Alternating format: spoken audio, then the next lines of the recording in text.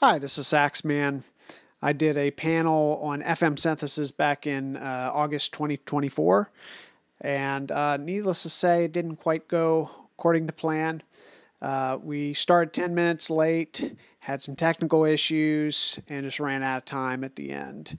Um, was a little disappointed, but uh, we did film it, and I decided rather than waste that footage, I would just go ahead and release it as is because uh, there really is a lot of good content there that I think uh, people could benefit from.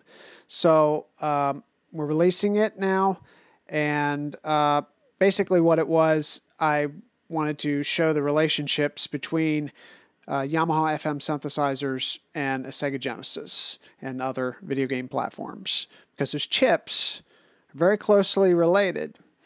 I grew up around FM synthesis. I have a uh, couple FM synthesizers right in front of me.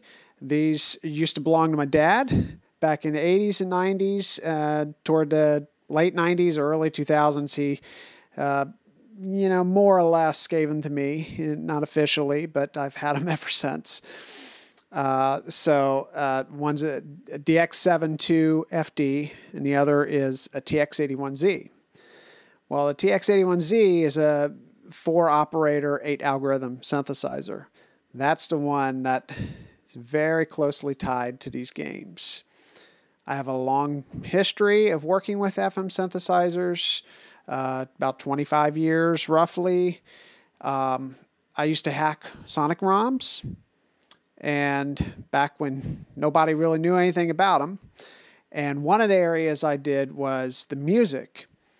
Long story short, I discovered that the data in the Sonic games was very, very close to, uh, characteristically to what you could do with uh, the TX81Z.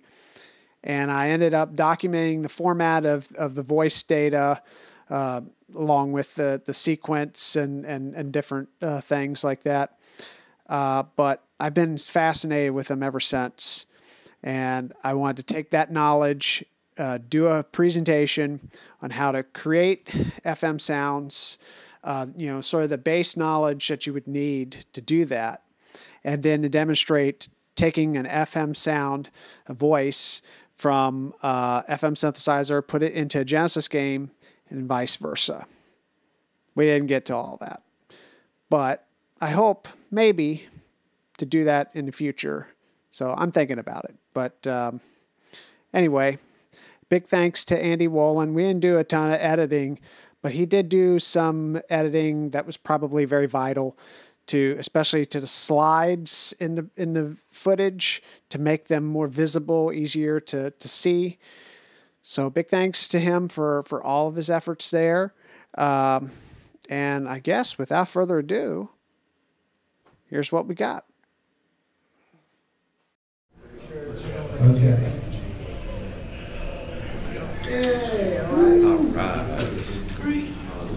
So.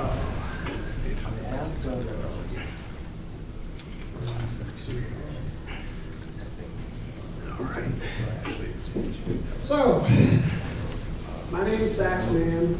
That's what people call me on the internet. I have a real name. That's very damn business. But I'm gonna wait for the panel to be over and the camera's off. I'll be happy to introduce myself properly.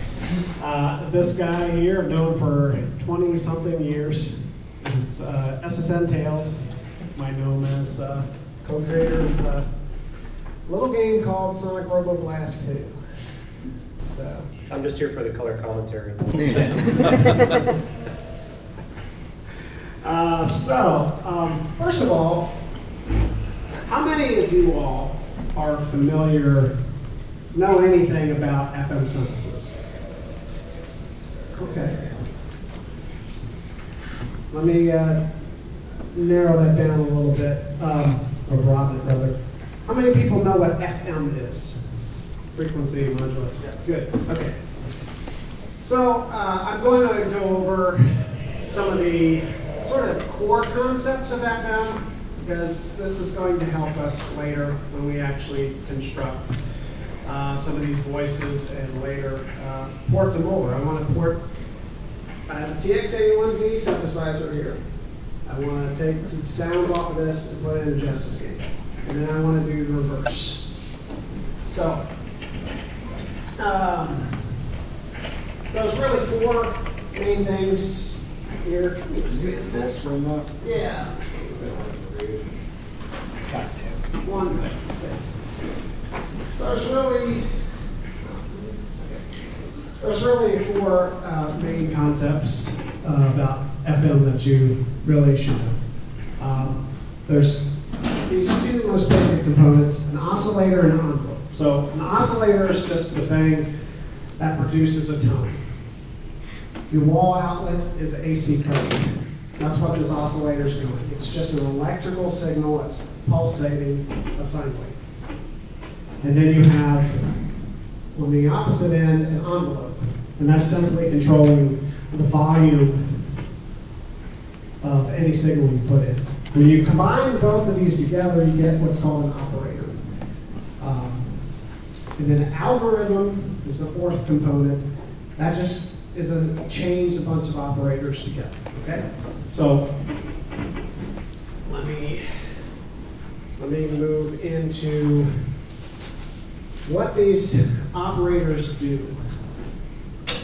So there's two types of operators, there's a carrier and a modulator. Carrier is what you're hearing. It is plugged to the output of whatever you're playing through. So it's the sound. The modulator is a type of operator that feeds into any other operator. It could be a carrier or it could be a modulator. But it's going to manipulate that signal. And I'll get into that here next slide. So this is, I don't know how well you can see that back there, but this is a modulator here. Modulator is feeding into a carrier wave, and the resulting output is this crazy looking thing with all these little tight waves and then these big bands here, tight, big band. That's what you're going to hear. And one, one other way you can sort of think about it too is like with the clock signal, and that the modulator is modifying that wave that comes out from the oscillator. So it's like you're speeding up the clock or slowing the clock down. Yes, exactly. Exactly. So this is the envelope generator. So the envelope is going to, this is just a change in volume. When you strike a piano key, it goes bing, and it sustains there. That's your sustain, that's when it's getting softer. This is the initial hammer coming down, and then it comes down sharply here, and then sustains.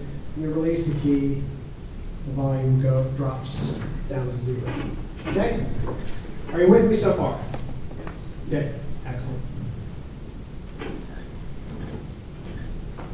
Only thing I, you really need to know, Yamaha FM chips have, whole variety, but uh, the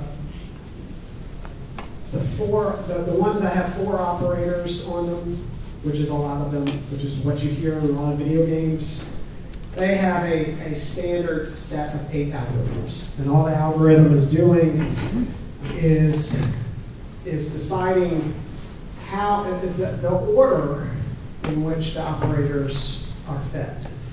And depending on the order can radically change the sound.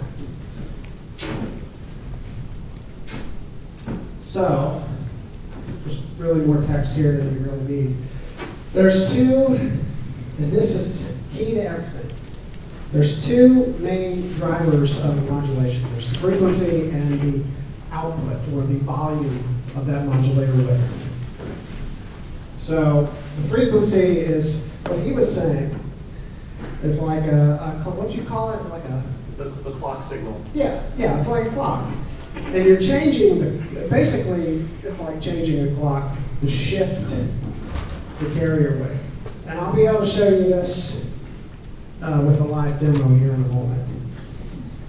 So that just shifts the phase of the carrier wave. And then the output is just going to change the intensity of the modulation. Okay. So here are some examples of how this works. Over there, going up is a change in frequency. So if your frequency down here is 100%, 150, 200. On the other axis, I have modulator volume or output, and that's just increasing, starting at zero, 50, 100. Now, do I have a little more slack here? Hope y'all can see this. The, if the modulator has no volume, it's not going to impact the carrier wave at all. What you're seeing here is just a raw carrier signal.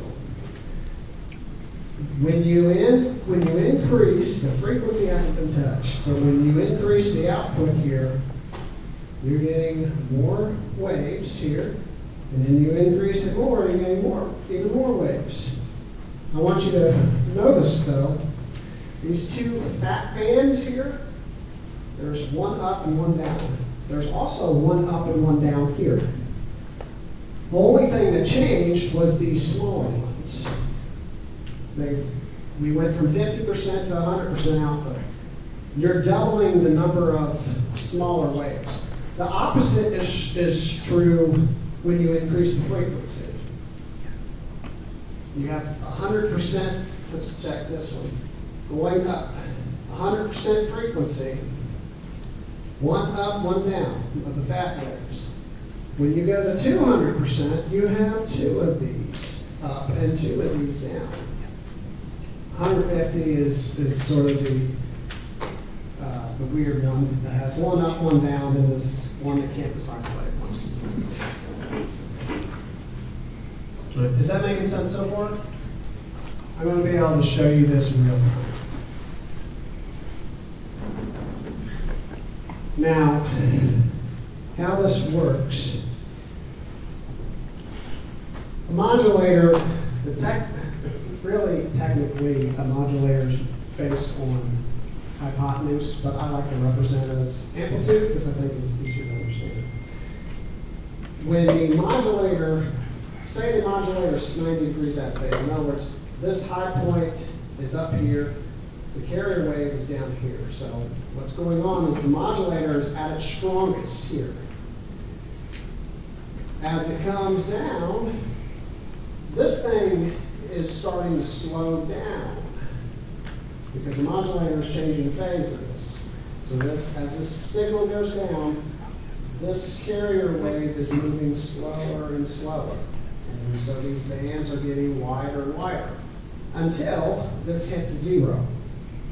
At which point, this thing stops. And then it starts going the other way. And it's going to increase the intensity some more, but it's mirrored. When it's when the modulator signal goes negative, it actually starts phasing this in the reverse direction. And FM now. Now I just got to get my uh, my program up here. Because That's effectively a multiplication operation, right? So that's why you Yes. get from negative to get the inverse. Yep, that is exactly right. It was doing a multiplication.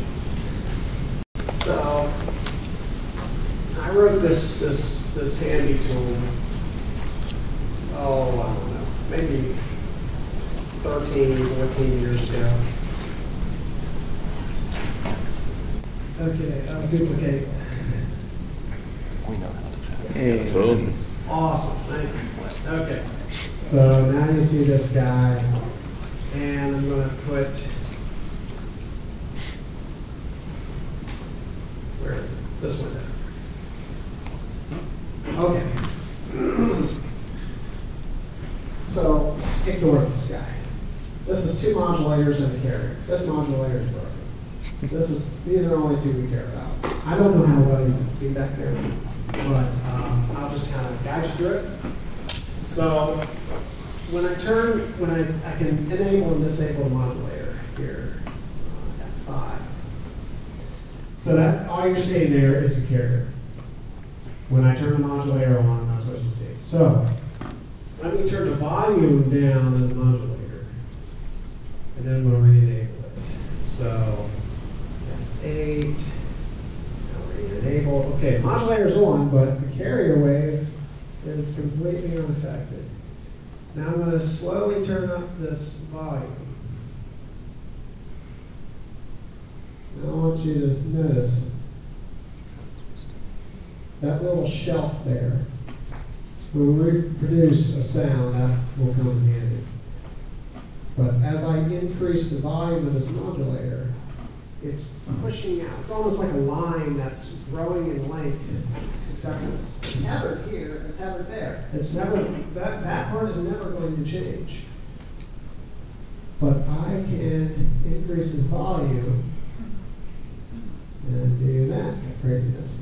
I can also, and let me just do that, and then I want to change, what we were changing volume, I want to change the frequency of this. I told you when the frequency changes, you get more of those fat bands there. Whoops, I have to change more of that.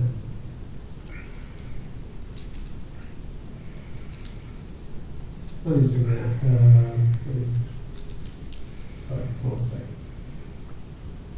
You gotta see more of this to understand. this. Okay, so that's just the carrier waves, just kind of squished down. But when I increase the frequency here, let's bring this up to one. Put plus one. Now, let's strengthen the volume here. There you go. That's what you're talking about. We got the one big band and one small.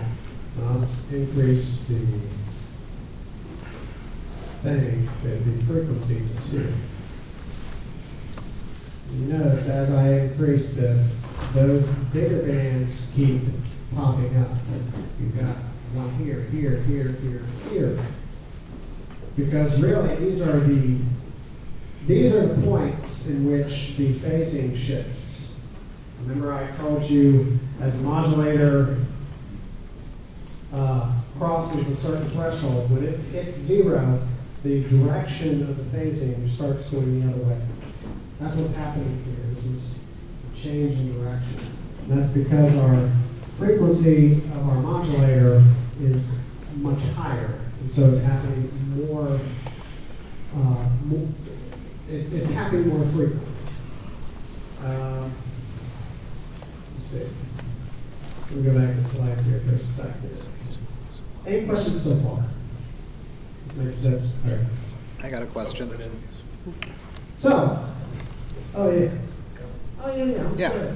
Um, when you're saying frequency, are you talking about the frequency in terms of the tone that it's going to produce, or is it more about the frequency in? I'm trying to think of the right terminology.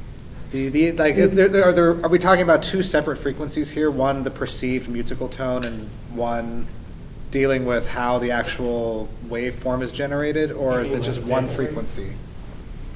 Say again? You mean like the sample rate? No, not the sample rate, the actual frequency of the note that our ear is going to perceive as being a musical note. So, uh, actually, um, well, I can, I can, I don't know if, if this might answer your question. Uh, let me, let me turn this frequency down. This is, the frequent, when I say frequency modulator, I'm talking about the physical frequency, the Right. sine wave frequency itself. Okay. So. So that will affect the musical tone, or like the, the musical note that we hear.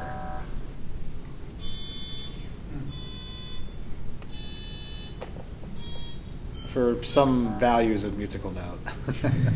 well, I mean, the, the more stretched out the waveform is, the lower frequency you're going, the lower tone you're going to hear. Right. Yeah. It gives you, it does give you sort of a perceived increase in the. In the pitch, I guess you could pitch, say, right, say. yeah. So are Um, you adjusting the modulator frequency right now? Yes, this is the modulator. Oh, well, that is horribly out of tune, but if I uh, bump that up a little bit, it would be perfect pitch. Let's see, get zero. Ah, right there. That's a perfect pitch, it's perfectly the same. You made your own PC speaker. Yeah, that's, that's, that's So I don't know if that answers your question or kind of gives you an idea. Yeah. Is that just pure software right now, or do that everything? That, that's software. Yeah, that's, that's something I wrote, uh, many years ago. Uh, I just dug it out for this, uh, presentation. That's actually, uh, mimicking the exact behavior of the TX81Z, which I have over this laptop here. That's why I saw that, I was I was wondering, like, Yeah. which recording it, or if you were actually like, honestly, this context. Right, yeah. So if you were to set those same parameters on the X7, would- it would generate that same time. Yeah. Um, yes, yes. Would you use a microphone to just draw the same sine wave essentially? I'm sure. Maybe using recording software. Uh, say that again? I didn't catch it. Like if if you were using the real one essentially, and you had that hooked to a speaker, you'd still be able to draw the same sine waves, get those values, just like do without any recording software. I'm sure. Yeah, uh, yeah, you should be able to. Um, so I don't, I asked myself, well, do you want to dive into all this history? I don't want, I decided it was too much, but I do want to just highlight sort of the origins of this uh, synthesis here. So that, that is uh, Yamaha's very first FM synthesizer. That being the GS1, uh, released in 1981.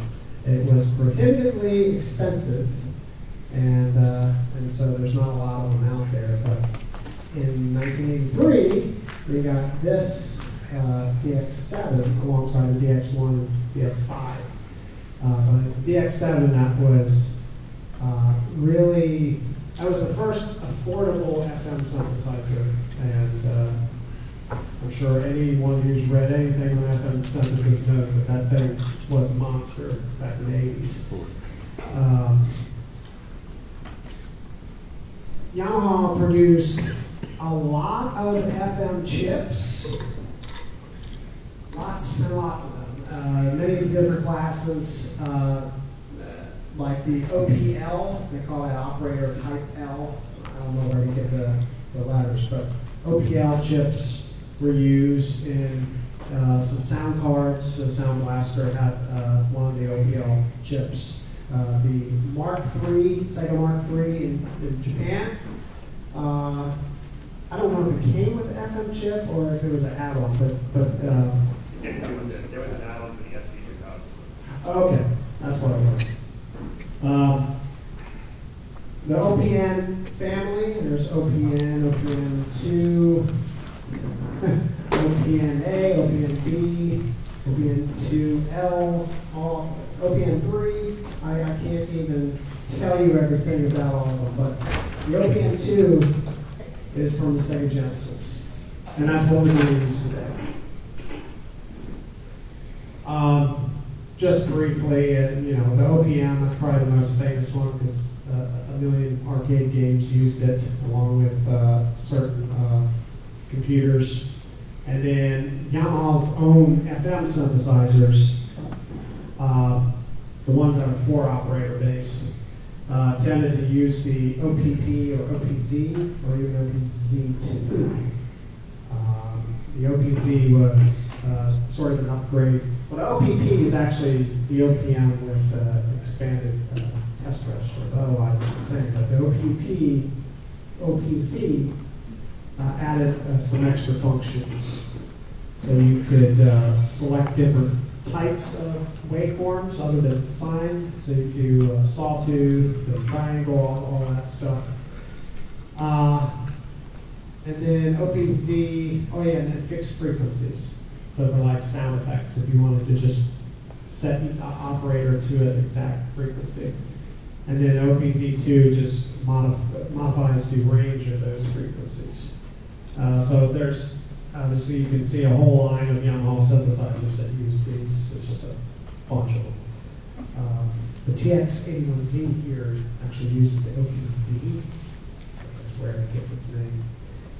Um, oh, this is too much. That's just a bunch of chips. Where's the part numbers? Okay. Um, oh, yeah, okay. Uh, you know, if you have a phone, if you care, there's just some links I thought was uh, useful to have uh, if you wanted to learn more. Um, but Are you gonna post these slides? yes, yes, I will make these available. Um, and I guess there'll be video too, won't there, Andy? Yeah. Um, let me, because I got this, this box going down here, I want to create a voice. In the time we have, if I can do it.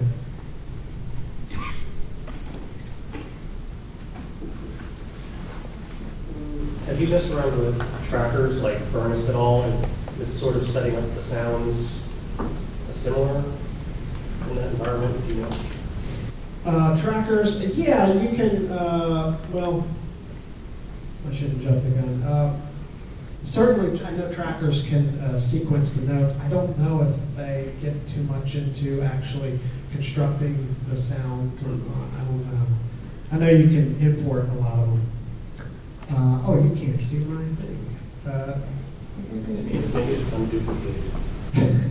okay. PowerPoint might be getting in the way of that. Okay, let me let me close this. Does that? Okay, good. Now you can see the screen. So, what I want to do,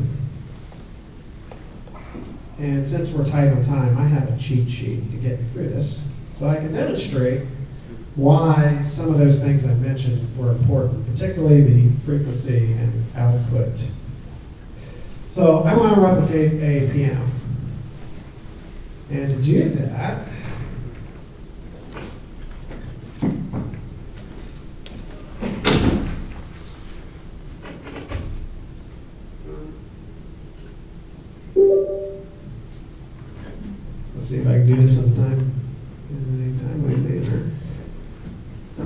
able to see what the heck I'm doing here. So, in OBS. Okay, um, that's probably. I hope, How do you focus with this, You- with this, here, with this? yeah, there you go. I can be a little bit of camera. Yeah, that- you're very helpful, thank you. All right, uh, so, I want to start with a blank slate here. So I'm going to move over to something completely blank. Init voice. I think that's a blank slate. So, um, first we have, we're going to go, so this is the algorithm. Oh, yeah, you got a little to this. Nope, up here. Yeah, there you go. Yeah, I don't care about buttons. Oh, okay. They can see that. Um, so that's your algorithm. So um, I'm fine with with one. I remember what one is. One thing that kind of helped me think of algorithms is sort of like, imagine you have a preset way you can chain together GPU shaders. You know, you've got a certain number of shaders and you can combine them in different, different ways.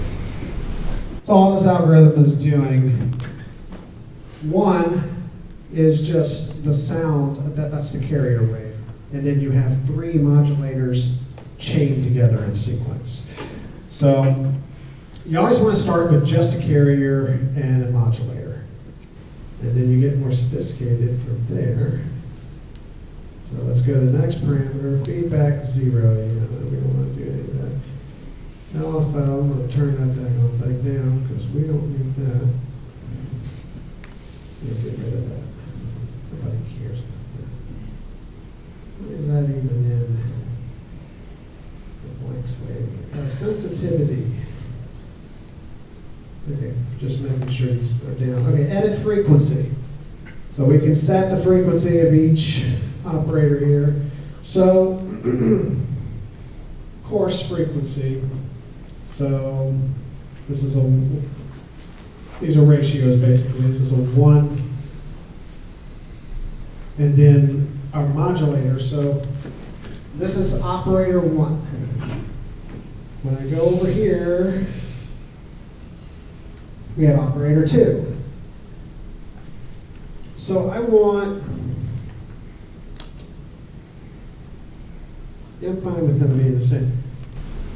And those values can only go from negative one to positive one, correct? Or can you actually exceed?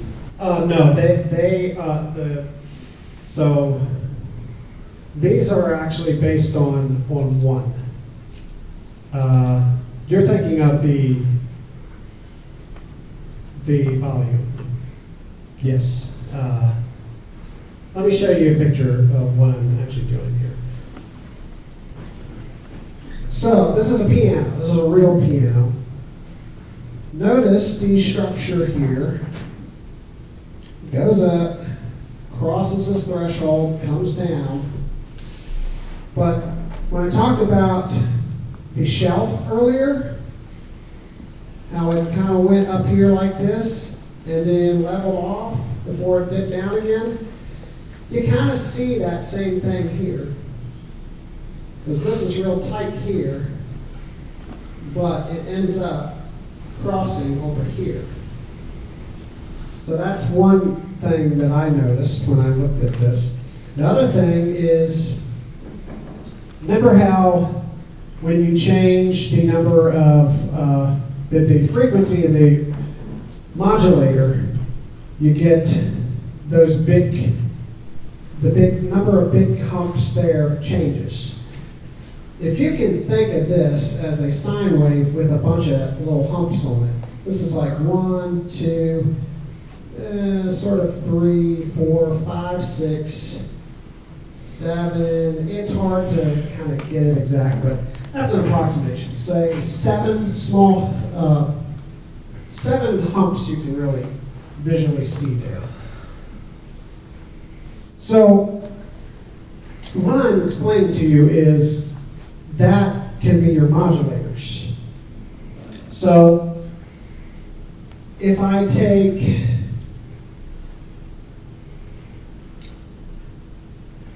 if operator two, which is our modulator, let's use algorithm three, this will be easier. Okay, I'm using algorithm three here. Let's go back to OBS so you can see what the heck I'm doing here. There's a focus, perfect. So I'm switching to algorithm three. This is going to be easier. So one, one, two, three. Now I want to go over, Oh, you're gonna need to go back for that. because I also want to show them an oscilloscope here. You don't have to close the projector thing, you can just alt tab to it, by the way, and see the window. Oh, I can, uh, where, where, OBS, okay. So, yeah. Okay, so I can still do that. Yeah, if you right click the projector thing, just do the ag, bring it up again. Choose alt tab. Alt Just tab. choose OBS, you know, you know, just make that. Okay, perfect, perfect, thank you. Just use alt tab, that way you're not worried about closing it over that. You're at two fifty right now. Ooh, two fifty. Daggone. Um, okay, so let's, uh, get this one here. Hmm, oh, this needs to be on. Do we have a signal? Perfect, thank you. So we can see what we're doing here. Now I want to increase frequency to match. this thing here. So we're gonna do frequency of one. So I guess kind of what they used to do to try to simulate real instruments is they probably recorded the actual instrument playing the sound, looked at the shape of the wave, waveform, right? And then they thought of like, okay, what algorithms and, op- you know, how can I combine the modulators and the operators together to as, get as close as I can hmm. To, to that, that shape of the waveform. That's what I was asking earlier, what recording software is. Yeah. More commonly, they would use a spectrogram, so they'd see the, the harmonics from that instrument, and they try to make the harmonics line up reasonably well from FM output. Oh, yeah, that's true, yeah, I forgot about that, yeah. You, you can use a spectrogram. yeah. It's pretty hard for humans to interpret complex waveforms, but spectrograms, you know, you take the first three or four harmonics, and if you get them good, then So, it, here we go. So I'm gonna increase the modulator, switch over to, uh, Back to zero. Yeah. So, I want to get seven of those waves. So let's, The job title of someone doing that, like sound engineer? sound designer. Sound yeah. Designer, It's clearly not the actual name like It's musician. not composer, right? Right, Exactly. probably, yeah, that's the new word you're using.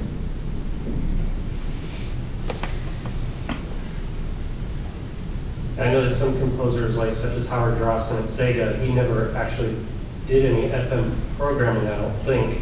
Like he would use the GEM sound driver and then just, you know, feed his music into that. So, I mean, Oh, James. you know, it's, Um, there's- quality may vary, but it's made it a little bit more approachable for musicians. It goes the other way too, right? Like Yuzo, Yuzo Koshiro famously, like he would just get in on it. What's that? Oh Yuzo Koshiro, I think he would like dive into the, to the design as well. Oh, yeah, I'm sure there's mus- musicians that did that too.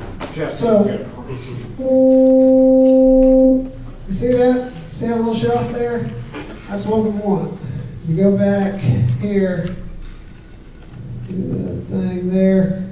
See, my first operator is just a carrier, but the second operator, I've turned it up to 61. It's, goes up to 99. So at a volume of 61, I get that little shelf. The frequency is exactly the same. So now I want to set up the frequency of the third operator, and we want those little humps that I said, that I pointed to. So operator three, there were seven humps as I counted. So I want to make the frequency a multiple of seven.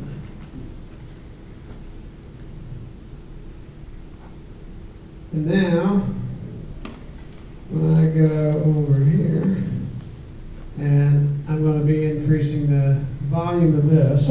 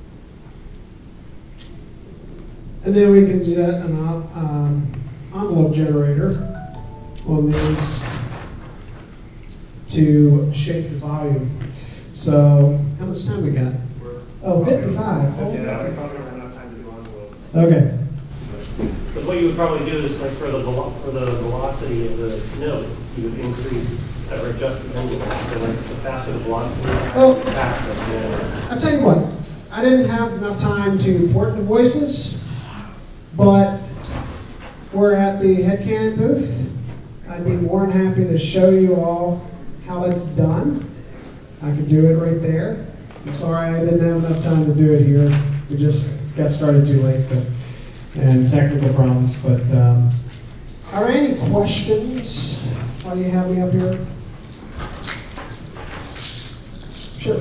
Uh, I wanted to have a sort of question, like, what, I'm looking at, you, you know, you're, you're creating the waves. I assume all those Yes. you basically create these waves and make these tones. Right. So then, you know, when I fire up my, my Sega Genesis two with the twenty-six twelve or whatever, and the Genesis one the thirty-eight, whatever the name of the chip is, they just have a slightly different sound, What did Yamaha like change there?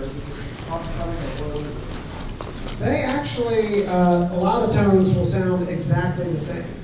Uh, What's different, like the TX uh, 81Z, the OPZ chip, has a lot of additional parameters. Um, The, uh, I can't think of what they are right off the top of my head, but there's a bunch, bunch of uh, additional parameters that they have. But they both have four operators, the same eight algorithms. Uh, you can tune the frequencies the same. Oh, the frequency range on the uh, TX81Z is greater, so it's a little more granular. Uh, has uh, several LFOs, whereas the Genesis just has one LFO. Uh, LFO, a low frequency oscillator, so it kind of manipulate, oscillates the entire sound as opposed to a single operator. Um, But a lot of the sounds will sound identical. That's what I was hoping that I had enough time to show you, that I could take this, put it into a Genesis game, and you'd hear the exact same thing. And I can take any sound from any Genesis game and move it over here, and there's almost a guarantee that it's going to sound exactly the same. In fact, one of these over here, I have a couple of these loaded here. Oh, there we go.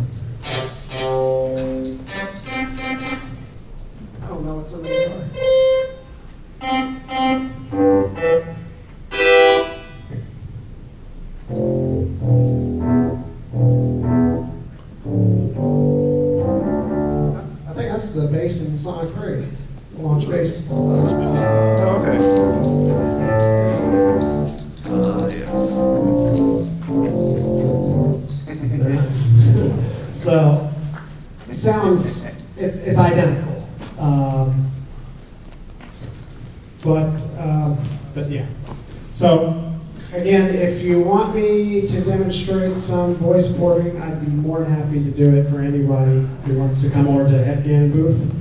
Uh, also, we have two panels tomorrow, I want to say. Uh, we have the Doom World Building At one o'clock. at one o'clock, and we have the Headcannon panel at two, is it? Yeah, so the one o'clock panel is gonna be right here in this room, and it's gonna be covering the basics of getting, it's like a crash course on building levels for Doom. Never done that before, getting started. And then over in the other panel room, right after that one, Headcannon's doing theirs at two o'clock. All right. I hope you all will come by, but if not, uh, thank you all for coming out, and uh,